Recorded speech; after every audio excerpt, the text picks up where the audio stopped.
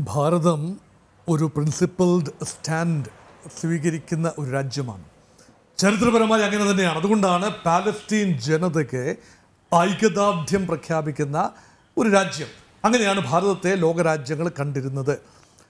അതിനുള്ള കാരണം പാലസ്തീൻ അവരുടെ സ്വയം നിർണയ അവകാശത്തിന് വേണ്ടി പോരാടുമ്പോൾ ഈ ഡിസ്പ്ലേസ്ഡ് പീപ്പിൾ സ്വയം നിർണയത്തിന് വേണ്ടി പോരാടുന്ന എല്ലാവരെയും സഹായിക്കുന്ന ആഫ്രോ ഏഷ്യൻ ലാറ്റിൻ അമേരിക്കൻ രാജ്യങ്ങളെ സഹായിക്കുന്ന പരമ്പരാഗതമായ ഭാരതത്തിന്റെ നയം. അതാണ് ഭാരതത്തിന്റെ അടിസ്ഥാനപരമായ വിദേശ നയം. അപ്പോൾ സമാധാനപരമായ പോരാട്ടങ്ങൾക്ക് ചെറുത്തുനിൽപ്പുകൾക്ക് തീർച്ചയായും ഭാരതത്തിന്റെ പിന്തുണയുണ്ട്.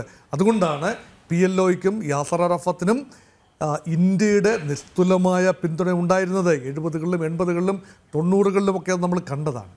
പക്ഷേ മാറിയ സാഹചര്യത്തിൽ ആഗോള ഭീകരത ഭാരതത്തെ അമേരിക്കയെ മാത്രമല്ല ഭാരതത്തെയും ഒരുപോലെ തന്നെ ബാധിച്ചു. ആ ഭീകരതയുടെ ഒരു കണ്ണം യഥാർത്ഥത്തിൽ ഹമാസിന്റെ രൂപത്തിൽ ജനിക്കുമ്പോൾ ഹമാസിനെ അംഗീകരിച്ചുകൊണ്ട് ഹമാസാണ് പലസ്തീൻ എന്ന് അംഗീകരിച്ചു കൊടുക്കാൻ ഭാരതത്തിന് കഴിയില്ല.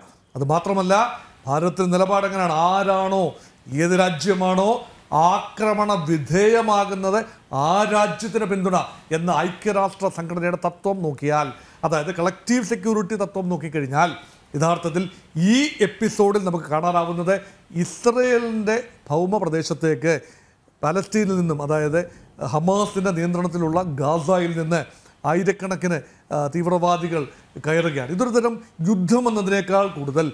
ഒരു തരം ഓപ്പറേഷനാണ്. ഒരു തരം തീവ്രവാദി ഒരു മാസീവ് സ്കെയിൽ ടെററിസ്റ്റ് ഓപ്പറേഷനായിട്ടാണ് ഭാരതം ഇതിനെ കാണുന്നത്. അതുകൊണ്ടാണ് ഇസ്രയേലിന് വലിയ തോതിൽ പിന്തുണ പ്രഖ്യാപിക്കുന്ന ഭാരതത്തിന്റെ നയം.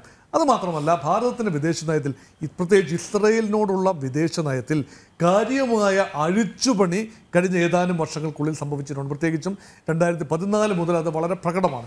ശ്രീ നരസിംഹറാവു പ്രധാനമന്ത്രിയായിരിക്കുന്ന തൊണ്ണൂറുകളുടെ മധ്യം മുതൽ തന്നെ അത് ചെറിയ തോതിൽ പ്രകടമായി എങ്കിലും ഇപ്പോൾ അത് വളരെ പ്രകടമാണ്.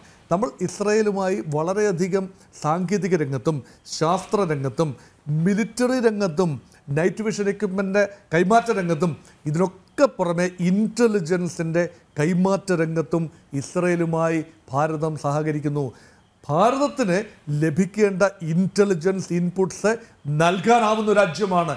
ഇസ്ലാമിക തീവ്രവാദ വിഭാഗങ്ങളെക്കുറിച്ചുള്ള ഇൻപുട്ടുകൾ നൽകാൻ ഏറ്റവും പ്രാപ്തിയുള്ള രഹസ്യ അന്വേഷണ വിഭാഗമാണ് ലോകത്തെ തന്നെ ഏറ്റവും കാര്യക്ഷമമെന്ന് കരുതുന്ന ഇസ്രയേലിന്റെ രഹസ്യ അന്വേഷണ വിഭാഗമായ മൊസാദ്. മൊസാദിന്റെ താല്പര്യം ഇവിടെ തീർച്ചയായിട്ടും ഉണ്ട്. ഭാരതത്തിന് മൊത്തത് നൽകുന്ന സ്ട്രാറ്റജിക് ടെക്നിക്കൽ സെക്യൂരിറ്റി ഇൻപുട്ട് വളരെയധികം പ്രയോജനപ്പെടുന്നുണ്ട് നമ്മൾ പാകിസ്ഥാനിൽ നിന്നും മറ്റ് ഭീകരരിൽ നിന്നും ഒക്കെ കടന്നു വരാനുള്ള വെല്ലുവിളികൾ നേരിടാൻ ആവശ്യമാണ്. അതാണ് ഒരു വശം. രണ്ടാമത്തെ ഒരു വശം എന്ന് പറയുന്നത് ഭാരതത്തിലെ പൗരന്മാരുടെ ഒരു കാര്യമാണ്. ഭാരതത്തിന്റെ ഒരു പതിനെണ്ണായിരത്തോളം ഭാരത ഭാരതീയർ അല്ലെങ്കിൽ ഭാരത പൗരന്മാർ ഇസ്രായേലിൽ സെറ്റിൽ ചെയ്തവരും അല്ലാത്തവരുമായ ആളുകൾ അവിടെയുണ്ട്. അതിൽ ഒരു വിഭാഗം വിദ്യാർത്ഥികളാണ്. വിദ്യാർത്ഥികൾ കൂടുതലായി ഇപ്പോൾ ടെല്ലവീവിലേക്കും പല പല പല പല ഇസ്രയേലി നഗരങ്ങളിലേക്കും പഠിക്കാൻ പോകുന്നു. അവരുടെ സുരക്ഷ ഭാരതത്തിന്റെ ഒരു കൺസേണാണ് യാത്ര പിൽഗ്രിം ടൂറിസം മുസ്ലിങ്ങളും ക്രിസ്ത്യാനികളും ഒക്കെ ജെറുസലേമിലേക്ക് തീർത്ഥാടനം നടത്തുന്ന ഒരു പതിവുണ്ട്. തീർത്ഥാടനമല്ല അവർക്കൊരു സൈറ്റ് സീൻ കൂടിയാണ്. ജോർദനിലേക്ക് പറന്നിറങ്ങി അവിടെ നിന്നും ഇസ്രായേൽ മണ്ണിലേക്ക് പോയി പലസ്തീൻ പ്രദേശത്തുള്ള ബത്ലഹേമിലും ജെറുസലമിലും എല്ലാം സന്ദർശ സന്ദർശിച്ചതിന് ശേഷം ഡെഡ്സിയും ചാവുകടലും ഒക്കെ കണ്ടതിന് ശേഷം ജോർദാൻ നദിയുടെ തീരത്തുകൂടി തെക്കോട്ട് യാത്ര ചെയ്ത് പിന്നീട് ഈജിപ്തിലേക്ക് പോയി. പിരമിഡൊക്കെ കണ്ടതിന് ശേഷം തിരിച്ചു വരുന്ന ഒരുതരം പിൽഗ്രിം കം ഹിസ്റ്റോറിക്കൽ ടൂറിസം.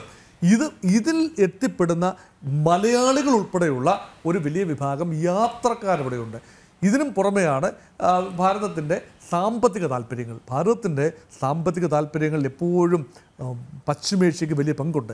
ഭാരതം ഇപ്പോൾ രണ്ടായിരത്തി ഈ കഴിഞ്ഞ മാസം കൺക്ലൂഡ് ചെയ്ത ജി ട്വന്റി ഉച്ചകോടിയിൽ എടുത്ത ഏറ്റവും നിർണായക തീരുമാനം യൂറോപ്പ് ഇന്ത്യ വ്യാപാര ഇടനാഴി. അത് കടന്നു പോകുന്നത് മിഡിൽ ഈസ്റ്റിൽ കൂടിയാണ്. അപ്പം middle east trade and economic corridor എന്ന് പറയുന്നത് വലിയ ഒരു അംബീഷ്യസ് പ്രോജക്റ്റാണ്.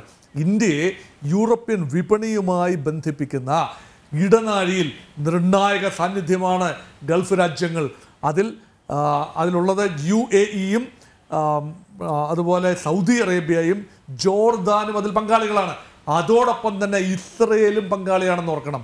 അപ്പോൾ അബ്രഹാമിക കരാറുകൾ നൽകിയ ഒരു നല്ല അന്തരീക്ഷം പശ്ചിമേഷ്യയിലെ ഒരു സമാധാനപരമായ അന്തരീക്ഷം.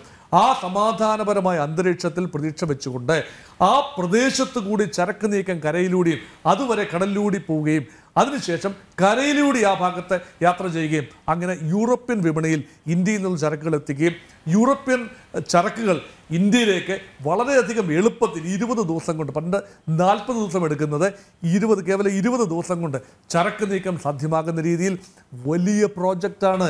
ചൈനയുടെ ബെൽറ്റ് ആൻഡ് റോഡ് ഇനിഷ്യേറ്റീവിന് ബദലായി. Revival of the ancient spice route അല്ലേ പഴയകാല സ്പൈസ് റൂട്ടിന്റെ സുഗന്ധദ്രവ്യ ഇടനാഴിയുടെ ഒരു പുനരുജ്ജീവനം. ഇതെല്ലാം അവതാളത്തിലാകും പശ്ചിമേഷ്യ സംഘർഷഭരിതമായി കഴിഞ്ഞാൽ. അതാണ് മറ്റൊരു ഫോളോ അത് മാത്രമല്ല ഇപ്പോൾ തന്നെ എണ്ണയുടെ വില വളരെയധികം കുതിച്ചുയരാനുള്ള സാധ്യത കാണുന്നു. ഈ ഹോർമോസ് കടലിടുക്കിലൂടെയുള്ള എണ്ണയുടെ നീക്കം മിയോസ് ഹോർമോസിലൂടെയൊക്കെയുള്ള എണ്ണയുടെ നീക്കം തടസ്സപ്പെട്ട് കഴിഞ്ഞാൽ ഭാരതത്തിന് പിടിച്ചാൽ കിട്ടാനാവാത്ത രീതിയിലേക്ക് എണ്ണ വില ഉയരും. ഇപ്പോൾ റഷ്യയുമായുള്ള തന്ത്രപരമായ ഒരു പിന്തുണയിലാണ് ലാഭകരമായി ഇന്ത്യയ്ക്ക് എണ്ണ ഇറക്കുമതി ചെയ്യാൻ സാധിക്കുന്നത്. അതുകൊണ്ട് ഇന്ത്യയുടെ വിദേശ നയം വേണ്ട തിരുത്തലുകളോടെ പീപ്പിൾ ഫ്രണ്ട്ലിയായി ക്രമീകരിക്കുന്നതാണ്. പ്രയോജനമുണ്ടാകണം. അടിസ്ഥാനപരമായി ദേശീയ താല്പര്യമാണ് ഭാരതത്തിന്റെ ജനങ്ങളുടെ ഭാരതമെന്ന രാഷ്ട്രത്തിന്റെ ദേശീയ താല്പര്യം തന്നെയാണ് വിദേശ നയത്തിന്റെ അടിസ്ഥാനം. ആ അടിസ്ഥാനത്തെ അടിയറ വെച്ചുകൊണ്ട് ഒരിക്കലും നമുക്കൊരു നിലപാടെടുക്കാനാവില്ല. അതുകൊണ്ടാണ് മുൻകാലങ്ങളിൽ പാലസ്തീൻ ഐക്യദാർഢ്യം പ്രഖ്യാപിച്ചു. അത് പാലസ്തീൻ ഒരു സെക്യുലർ സ്റ്റേറ്റ് ആകുമെന്ന പ്രതീക്ഷയിലാണ്. ഇപ്പോൾ അങ്ങനെയല്ല. ഹമാസിന്റെ നിയന്ത്രണത്തിലുള്ള പാലസ്തീൻ തീർച്ചയായും ഒരു സെക്യുലർ രാഷ്ട്രമല്ല. അവരൊരു മതനിരപേക്ഷ രാഷ്ട്രം സൃഷ്ടിക്കുമെന്ന പ്രതീക്ഷ ഭാരതത്തിനില്ല. അതുകൊണ്ട് സ്വാഭാവികമായി ഇസ്രയേലിനെ കൂടുതൽ പഠിക്കുകയും ഇസ്രയേലുമായ ചങ്ങാത്ത ഉറപ്പുവരുത്തുകയും ചെയ്യുന്ന ഒരു നയമാണ്. അവിടെയാണ് ഭാരതം പ്രതീക്ഷ വെക്കുന്നത്. അതുകൊണ്ട് തന്നെ ഭാരതത്തിന് ഈ വിഷയം എത്രയും പെട്ടെന്ന് അവസാനിക്കുകയും സ്ഥിതിഗതികൾ നോർമലാവുകയും ചെയ്യണം. എന്ന ആത്മാർത്ഥമായ ആഗ്രഹമുണ്ട്. അതെ തീർച്ചയായും.